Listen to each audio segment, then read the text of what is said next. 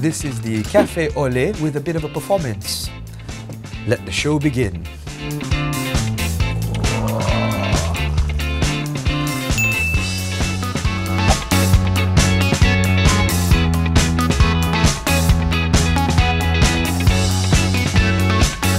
We, we have a dish back home. It's called um it's called cucur udang, you know?